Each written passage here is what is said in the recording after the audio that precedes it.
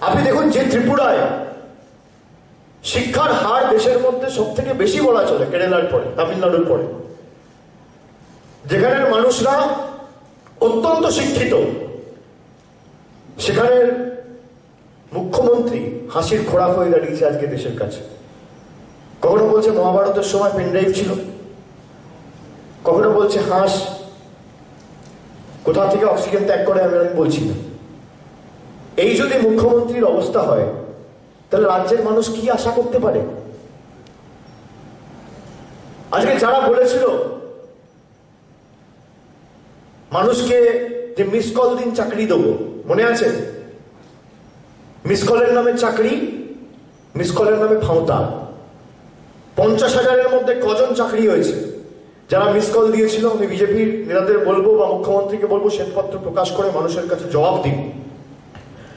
সাংবাদিক বৈঠক করে জানান, প্রায় সাড়ে দশ হাজার শিক্ষক আজকে বেকার হয়েছে আপনাদের অপদার্থতার কারণে, একশো দুজন প্রাণ দিয়েছে, কেউ আত্মহত্যা করেছে, কেউ না খেতে পেয়ে মারা গেছে।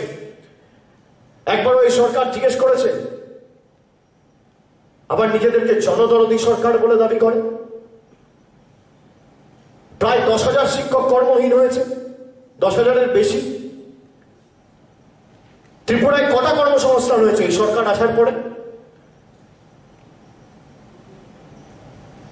ত্রিপুরার বেকারত্ব হার কেন দিনকে দিন বাড়ছে? নারী সুরক্ষায় কেন ত্রিপুরা এত পিছিয়ে? আইন শৃঙ্খলার অবনতি প্রতিনিয়ত কেন হচ্ছে? ত্রিপুরার মুখ্যমন্ত্রী জবাব দেবে না।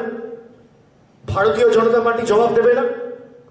যারা ত্রিপুরার নির্বাচনের সময় ডবল ইঞ্জিন সরকারের কথা বলেছিল, দিল্লিতে একটা সরকার আর ত্রিপুরা একটা সরকার দিল্লি মে মোদিজি আর ইহা পে বিজেপি ডবল ইঞ্জিন কি হলো ডবল ভাওতা ওখান থেকে মোদিজিও ভাওতা দিচ্ছে, আর এখানে বিজেপি বসেও ভাওতা দিচ্ছে। আপনি চোখ দিয়ে দেখুন, কানে না শুনে ত্রিপুর ত্রিপুরার ডবল ইঞ্জিন সরকার আর বাংলার সিঙ্গেল ইঞ্জিন সরকার, কোনটা নেবে? ত্রিপুরার মানুষকে আজকে সিদ্ধান্ত নিয়ে আগামী দেড় বছরের জন্য প্রস্তুতি নিয়ে রাখতে হবে।